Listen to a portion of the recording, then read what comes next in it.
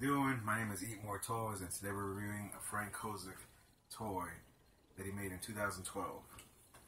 Oh wait, it's this little puppy right here. This is big. This is huge. So, this is called the Gipper. It came out in 2012. and um, it's basically Ronald Reagan in a bust. Let me not cut myself here. Kids, ask your parents for help. Let me do it like this. Anyway, uh, Frank Kozik is already known. He's been in the industry forever. Very talented, very gifted. He's very punk. And this is the Gipper. So let's open it up.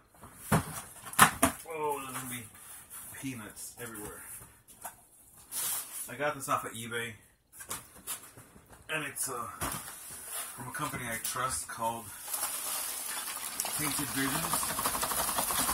They have their online store, but they also have an eBay store, and they really, really do good in packaging and sales. They have a lot of what would be considered now almost oh fudge vintage products. There's so many peanuts. Dude. I'm not even halfway through. There we go. Come on, push, push. That's a boy. There we go. Oh. oh I need a cigarette. Fine. Okay. So I don't know where I left off, but let's let's just let's just kick it off right here. So Frank Kozik um, starts collaborating, starts making posters, art posters for musicians, and he gets popular. then he goes and makes his own record company. Years later, he uh, the story goes, he was buying stuff and looking at stuff on Kid Robot Board. They reached out saying, "Are you Frank Kozik, the guy that makes the posters?" He's like, "Yeah." So they collaborated with him, and he's been collaborating with everybody, making toys left and right. So he's very prolific. He stays busy and he makes great stuff. It's fun, it's tongue in cheek, it's punk rock, it's do it yourself. He is awesome in everything he does. As you can tell by these two shelves, I have a lot of his stuff. I don't have all of his stuff, it's impossible. But he is pretty cool. His company for a while is called Ultraviolence. And he will make these big toys. So let's open this one up. Again, this one's called the Gipper. And it's uh, based on the president from 1981, Ronald Reagan. And I looked up why the nickname the Gipper. Ronald Reagan was an actor at one point, and um, when he ran to become a president, they uh, they saw a movie about football, and the the terminology then was do it for the Gip, you know, win one for the team. So I guess that became one of his running um, slogans, the Gip, and now the Gipper.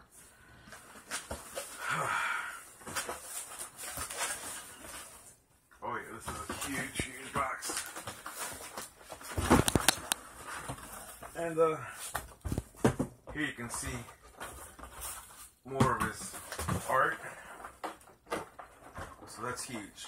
Look at that. Ah, these are the kind of boxes you want to keep because you can, you know, cut them and frame them, or just keep them somewhere in your house and just show off cool Frank Kozik art because it's really huge and it's it's really easy to spot his work. He's very fun. And uh, let's open this bad boy up. So this was made in 2012 and he has a lot of editions of this in various colors. He had already made other statues. This stinks. Oh my god. Oh, stinks like freaking socks, dude.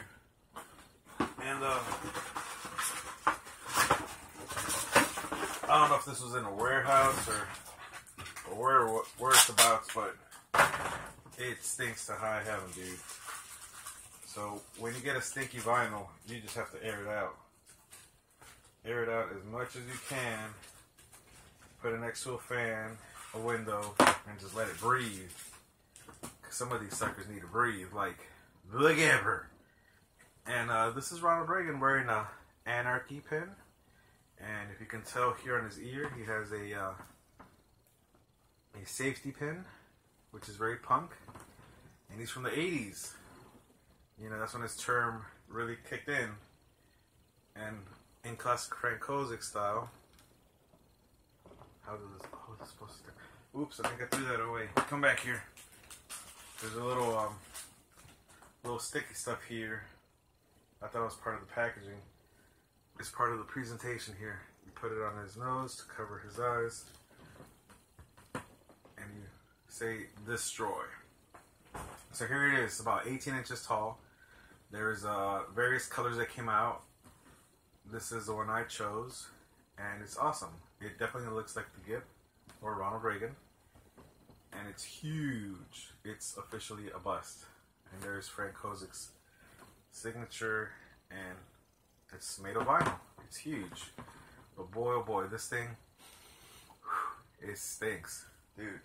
So, in the same year, 2012, he made the Goon Squad.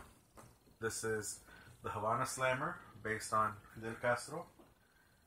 We have the Pyongyang Player. Let me let me take this guy off for a second. Oh, that stinks so bad. The Pyongyang Player, based on Kim Jong Il. We have Vladimir Lenin, and this was called Little Lenin or Little Ye- Little Little Little Ilyich. We got um, DJ Ayatollah, and we got the Gipper. So these are all world leaders from a bit of a couple of years ago, and this is the Goon Squad. So they're pretty cool. As you can tell, he's uh, making them have a little party. You got the beer hat. You got him with a party hat and a well thing. You got him wearing an Elvis clothing, and you got him being a DJ with headphones. So Kozik has always been doing stuff his way, very signature, very I don't care. You're gonna you're gonna get what I pump out because I just make cool stuff. And here's him doing him. Political leaders in your home, making fun of them, but also paying a sort of tribute. So I have the big Gipper and the little Gipper, both yellow. How you like me now? That's my tour review. There's not much more to say, man. Frank Kozik, killing it. Kid Robot, killing it. 2012. You know, almost 12 years in the making of me getting this. I finally got it. I'm gonna add it to my collection up there. I don't know where it's gonna fit. I have no idea. But this sucker needs to air out because it freaking stinks, dude. It stinks. Sorry, man. You stink. That's my review. Peace out.